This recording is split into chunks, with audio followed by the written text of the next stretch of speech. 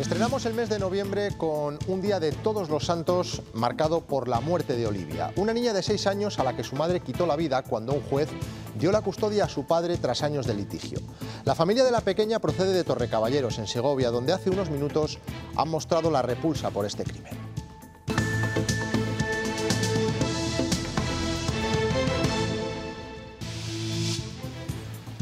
La pequeña estaba muy vinculada a Segovia y a este pueblo, Torrecaballeros, donde pasaba los veranos con sus abuelos. Hoy han guardado cinco minutos de silencio en memoria de la niña. Nadie da crédito a lo ocurrido.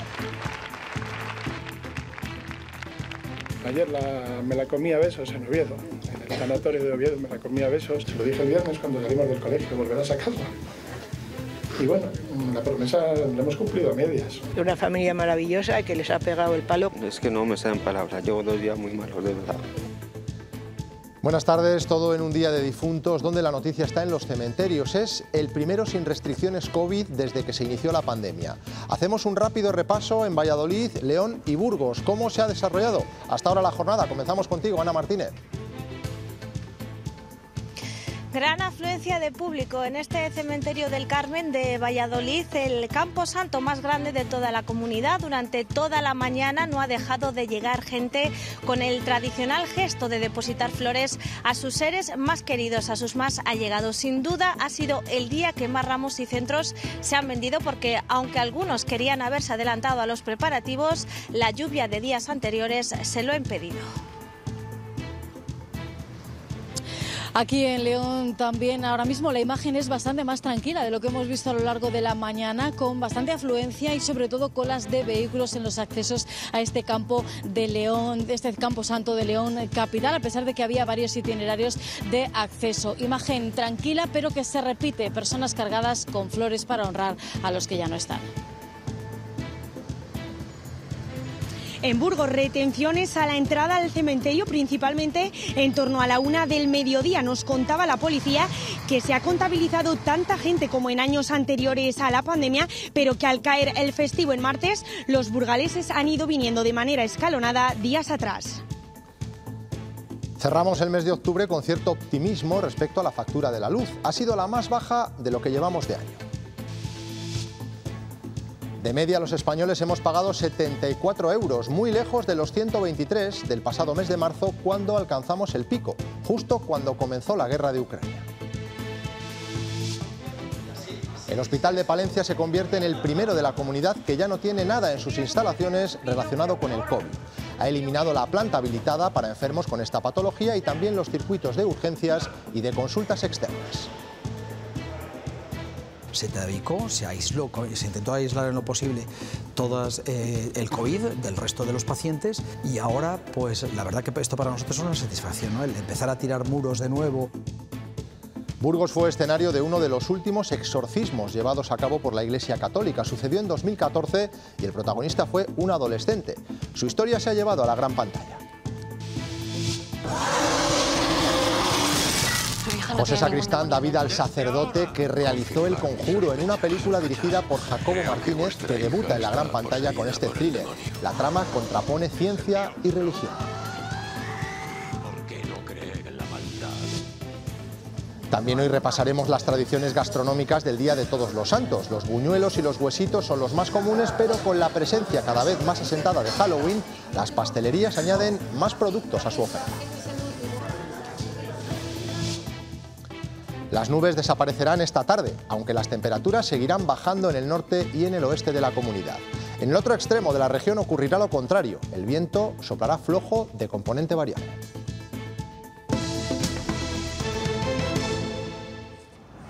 La mujer segoviana acusada de matar a su hija de seis años está a la espera de pasar a disposición judicial. El Tribunal Superior de Justicia de Asturias ha informado que no tiene previsto que sea hoy. De momento continúa detenida. El presidente del Principado ha expresado esta mañana su condena incondicional y rotunda ante lo ocurrido.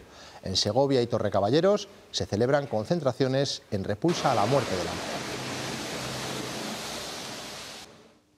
Este mediodía se han guardado cinco minutos de silencio en el pueblo de la familia paterna, donde la pequeña asistía con frecuencia, sobre todo en verano y los fines de semana. En Torrecaballeros ha estado también el padre, arropado por amigos y vecinos. Victoria Domínguez. Dolor e incredulidad son las palabras que definen el sentimiento de los vecinos y los amigos de la familia de Olivia. Hoy han estado con ellos, les han arropado, les han acompañado durante los cinco minutos de silencio que se han guardado en recuerdo y en homenaje a Olivia, la pirata, que es como le llamaban en casa. El acto, que ha sido multitudinario, ha concluido con un largo aplauso. Han sido cinco minutos de silencio, pero también un grito, un clamor. Esto no puede volver a pasar. En esta iglesia de San Nicolás las de Torrecaballeros se celebrará el funeral por Olivia a primera hora de la tarde. Se lo dije el viernes cuando salimos del colegio, volverás a casa. Y bueno, la promesa la hemos cumplido a medias. Esto te lo llevarás a la tumba sin encontrar una explicación lógica. Es una absurdez, es inútil esto, el odio no lleva a ningún lado. Una familia maravillosa que les ha pegado el palo. Sensación de impotencia, de rabia, de tristeza. Es que no me salen palabras. Alto, fuerte y que llegue hasta donde tenga que llegar que algo así no se puede repetir. Nadie, nadie podía imaginar este, este fatal desenlace. Es evidente que ha fallado el sistema. La situación en Navalacruz, en Ávila, es de tensa calma tras lo sucedido la semana pasada. El pueblo trata de cerrar uno de los capítulos más tristes de su historia, la aparición de los restos mortales de una mujer descuartizada hace casi 20 años y cuyo asesino confeso tenía relación con la localidad, Samuel Senovilla. Así es, poco a poco Navalacruz va retomando la normalidad, tras el aluvión de medios de comunicación y agentes de la Guardia Civil. Mientras prosigue la investigación por parte del Instituto Armado, aquí continúa la conmoción, ya que la familia del asesino confeso era muy querida en este pueblo del Valle del Alberche. En las calles de Navalacruz siguen jugando los niños, los vecinos continúan haciendo los recados y los parroquianos yendo al bar aunque la huella de la tragedia tardará en cerrarse. Estaban intranquilos y como no había nada más que nombre, pues eh, si no encontraban a un culpable, encontraban a otro.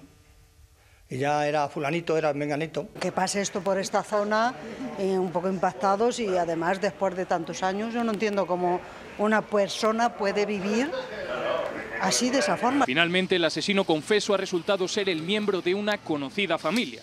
En esta misma iglesia se guardan tres cuadros donados por el padre, pintor al igual que alguno de los hermanos de Jesús. Ha sido una tragedia, pero, pero vamos, que la familia es buena, ¿no? Lo que sigue. Inmejorables. La familia no residía en este municipio, aunque solía frecuentarlo en verano. Eso sí, en el pueblo casi nadie pone cara a Jesús. Sí que seguro que lo conozco, pero, pero no me doy cuenta así de por los nombres y eso, no. Yo ahora mismo no le pongo cara a ninguna, ¿sabes? Así es que yo de conocerle, de tratar con él y eso nunca. Ahora desde Navalacruz solo desean que este lúgubre capítulo se cierre cuanto antes para volver a la normalidad. Nuevo caso de violencia machista. Esta madrugada un hombre de 41 años ha llamado a la Guardia Civil para confesar que había matado a su mujer de 30. Ha ocurrido en la localidad cacereña de Valencia de Alcántara. El hombre tenía antecedentes por violencia de género, pero su caso permanecía inactivo en el sistema Biogen, es decir, temporalmente no contaba con seguimiento policial. En lo que va de año, 36 mujeres han sido asesinadas por sus parejas o exparejas.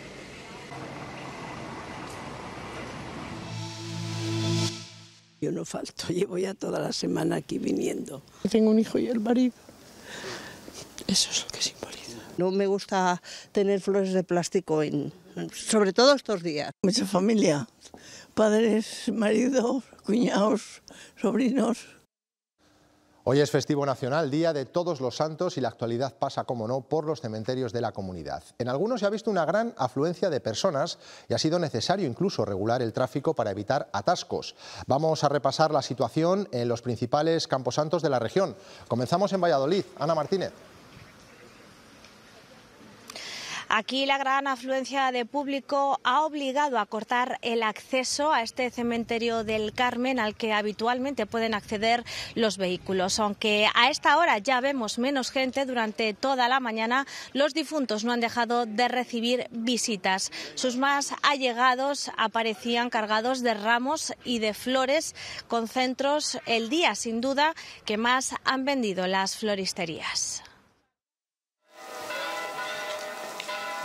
Hoy toca escucharse a uno mismo, parar de la vorágine que hemos convertido en rutina para recordar a quienes ya no están pero nos han traído hasta aquí. Lo tienes en la cabeza todos los días. A los padres y a los seres queridos los tienes todos los días en la, en la mente. Se recuerdan durante todo el año, pero hoy es un día especial que parece que si no vienes te queda algo dentro. Cierto que deberíamos hacerlo a diario, pero no siempre se tiene tiempo o se quiere escarbar en esos cofres de la memoria. Días tristes.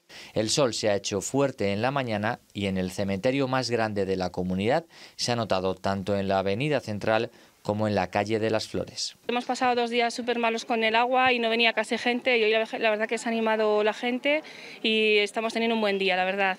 En este Camposanto cada año se recuerda a quienes hicieron en vida gala de la ciudad de Valladolid representan un poco al conjunto de la ciudadanía y que son la cara blanca de, de nuestra sociedad, ¿no? la cara eh, sobre la que no, no suele haber discrepancias ni disputas. Recordemos todo lo que nos enseñaron esos ilustres y también los nuestros. Me quedo precisamente con eso, con respetar a nuestros seres ya difuntos, que ya son bastantes, por desgracia, y querer a los que tenemos vivos mientras podamos. Que así sea.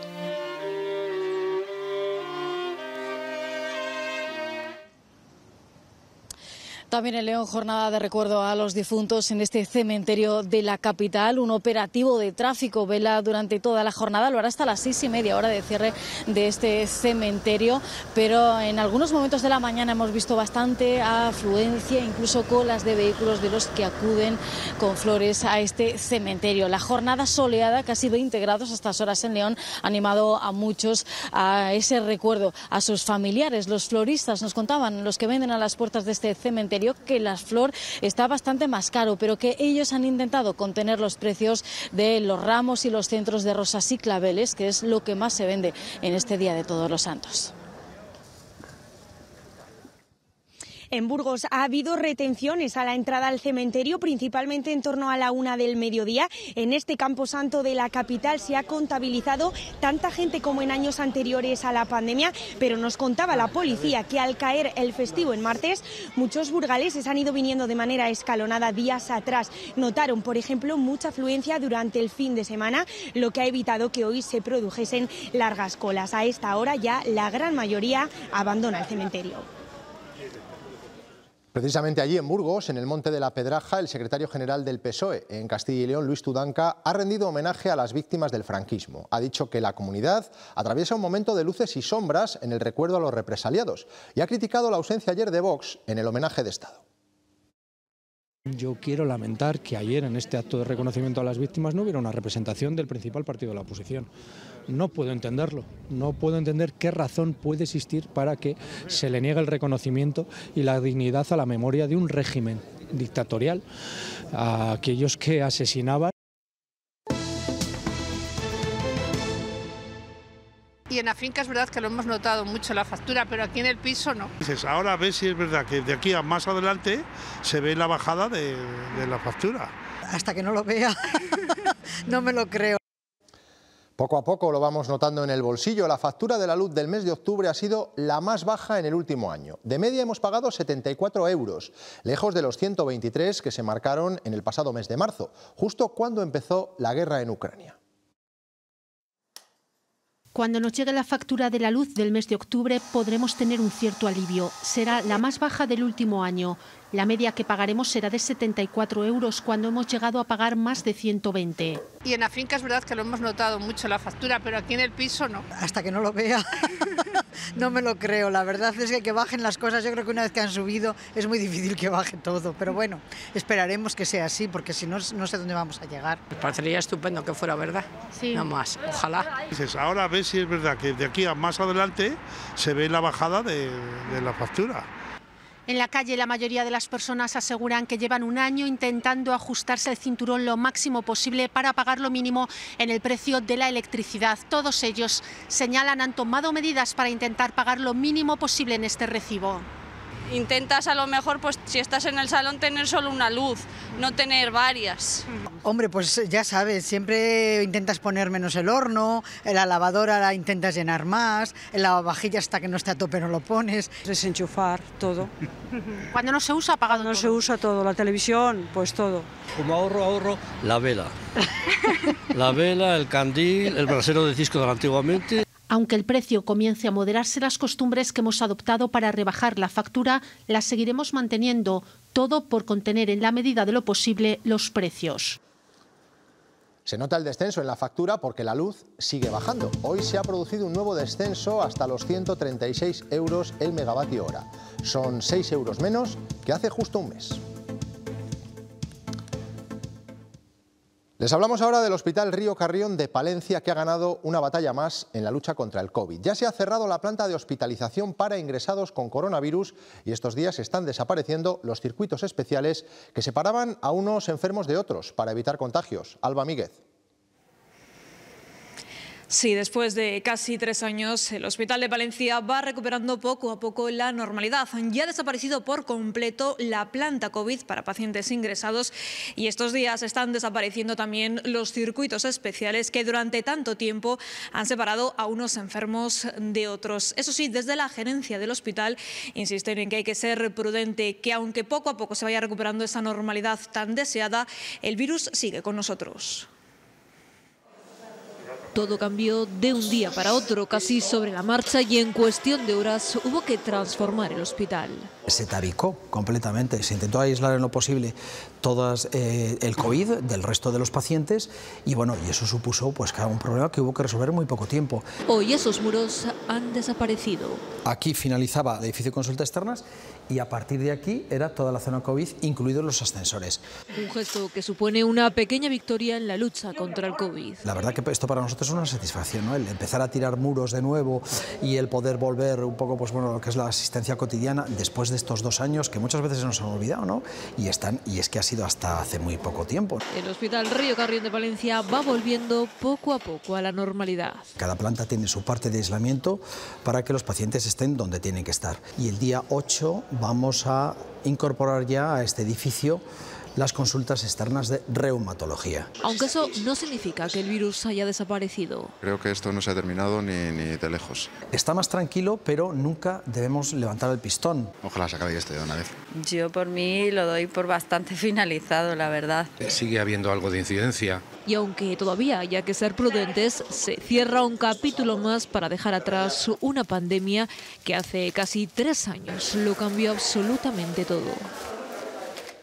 Las lluvias que han caído los últimos días han producido una mejoría en la situación de los embalses de la cuenca del Duero. Ayer el volumen embalsado llegaba casi a los 900 hectómetros cúbicos, lo que supone el 31% de la capacidad. Hace justamente un mes esa cifra era del 28,7%. Se van reponiendo lentamente, aunque aún estemos lejos de los datos del año pasado. En esta misma fecha el volumen total de agua embalsado ascendía al 40%. Las lluvias de los últimos días no han hecho que este embalse de la Cuerda del Pozo recupere su capacidad. Es más, en las últimas jornadas ha bajado incluso del 30%. Ahora mismo está al 29,7% de su capacidad. Para que nos hagamos una idea de este descenso, hace justo un año el nivel de capacidad de este embalse era del 51%. Es un 22% menos que hace 365 días. La entrada en vigor de la nueva legislación en materia de sostenibilidad, que incluye el impuesto al plástico el próximo 1 de enero, pone en peligro a más de 25.000 empleos del sector de la alimentación y la bebida. La patronal pide que se retrasen todas estas medidas al menos un año el precio de la energía, la inflación y a partir de enero las empresas de la alimentación y bebida tendrán que sumar un sobrecoste más. El impuesto al plástico que grabará con 45 céntimos cada kilo de material y que supondrá un coste de casi 700 millones de euros para toda la cadena. La patronal ha pedido al gobierno que aplace su entrada en vigor un año hasta 2024 para no dejar a las empresas españolas en inferioridad de condiciones. No hay este tipo de impuesto en ningún país de la Unión Europea, con lo cual la pérdida de competitividad va a ser relevante la cifra del impacto sobre este sector de la Ley de Residuos y del Real Decreto de Envases que está en tramitación es redonda, 5.000 millones de euros. Es una amenaza a la supervivencia de pues, aproximadamente 2.400 empresas y más de 25.000 empleos. La tramitación de los presupuestos generales del Estado es el momento idóneo para aprobar este aplazamiento según las empresas de la alimentación y las bebidas. De momento ya han mantenido conversaciones con el Ministerio de Hacienda. Por parte del Gobierno todavía no hemos tenido ninguna respuesta a la posibilidad del aplazamiento. Por parte de los partidos políticos sí que hemos visto que se ha recogido como enmienda. FIAP insiste en que no piden la eliminación del impuesto, sino un aplazamiento y reitera su compromiso con el medio ambiente y la economía circular. El alcalde de Valladolid ha adelantado que mañana se aprobará la subvención de un millón de euros para la empresa de autobuses eléctricos Switch Mobility, que empezará las obras de la planta en las próximas semanas. A este respecto, Oscar Puente ha manifestado su posición respecto a las críticas que llegan desde la alcaldía leonesa, también del Partido Socialista. Estoy cansado, cansado de que cada vez que el Ayuntamiento de Valladolid exhibe un logro, trae una fábrica, trae otra fábrica, eh, desde León se ponga ante la de juicio esos logros y se identifiquen exclusivamente con actividades de la Junta de Castilla y León, cuando yo creo que ya para todo el mundo está bien claro que si esas eh, iniciativas vienen a Valladolid es por el trabajo que hacemos desde Valladolid. Yo creo que hay que llorar un poco menos y trabajar un poco más.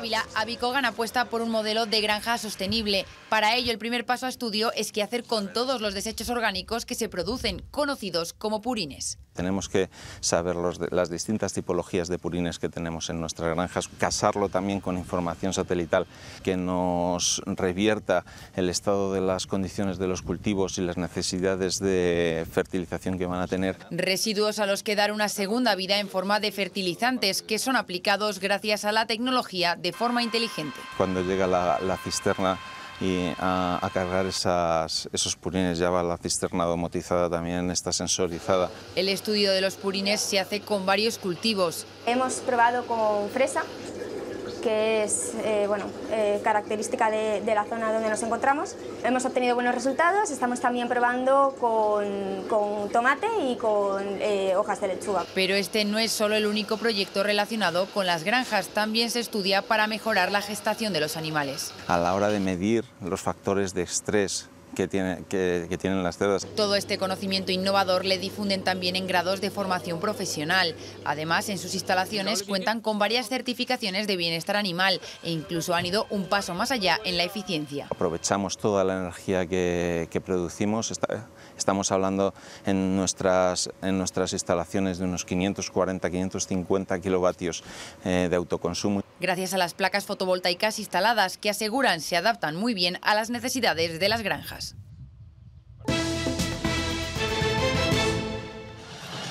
Se cumplen 10 años de la tragedia del Madrid Arena. Cinco jóvenes con edades comprendidas entre los 17 y los 20 años perdieron la vida en una avalancha. El atestado policial concluyó que el aforo estaba sobrepasado. El promotor del evento fue condenado por el Tribunal Supremo a cuatro años de prisión por ser autor responsable de cinco delitos de homicidio y por 14 lesiones graves por imprudencia grave. Desde octubre del 2020 está en libertad. La condena es una broma, de mal gusto. Si nueve meses por víctima es una justicia, pues vale, no será.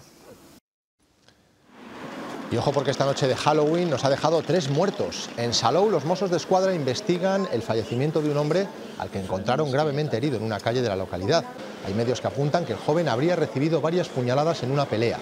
Y en Málaga, otro chico de 28 años ha muerto al recibir cinco impactos de bala, uno en la cabeza. Por último, en la localidad sevillana de Palomares del Río, un joven de unos 17 años ha fallecido víctima de un apuñalamiento.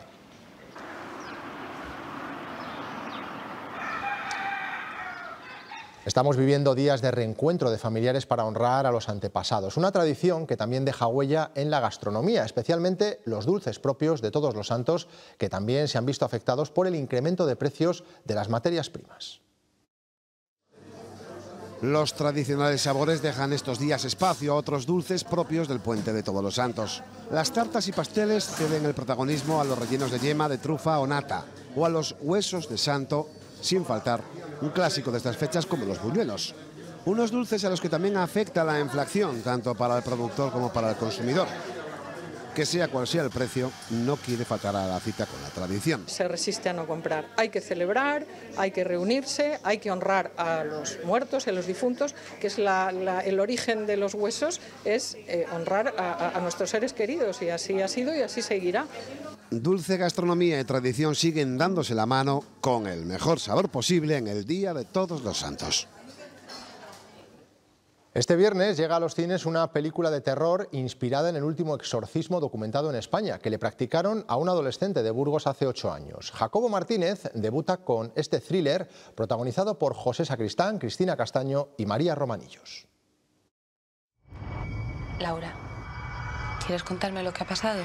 Un exorcismo real, practicado a una chica de 17 años en Burgos en 2014, es el punto de partida de este thriller. Me estoy volviendo loca. Se siguen haciendo exorcismos en España. Hay 15 exorcistas oficiales eh, de la Iglesia Católica eh, que cuando el Vaticano les da el ok pueden, pueden hacer un exorcismo en España. Laura, por favor. Para su ópera prima, Jacobo Martínez ha trabajado con los informes de los juzgados de instrucción. Esos informes lo que contienen son las declaraciones de los asistentes al exorcismo.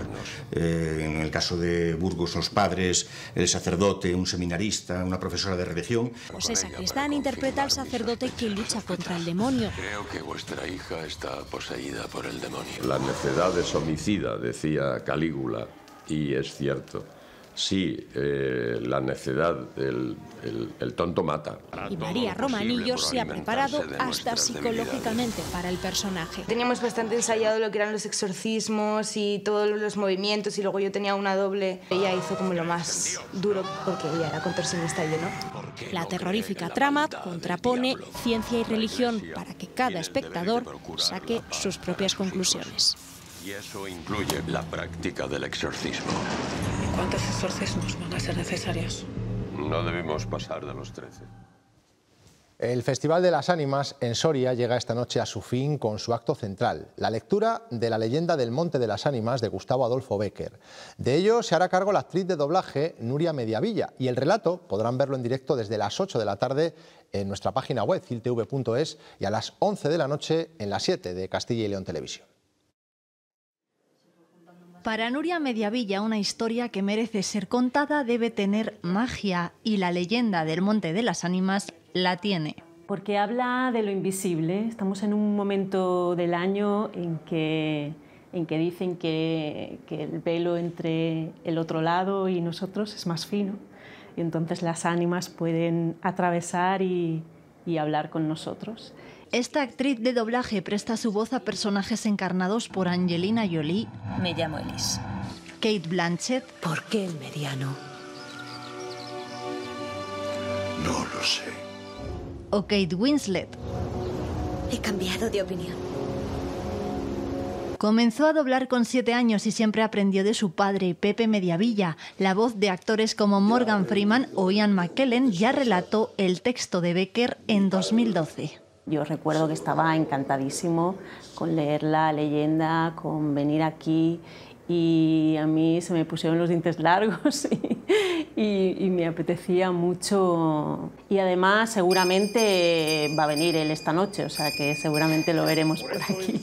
Voces de cine para relatar un texto que ya ha marcado la historia de Soria. Intentó querer detenerle el joven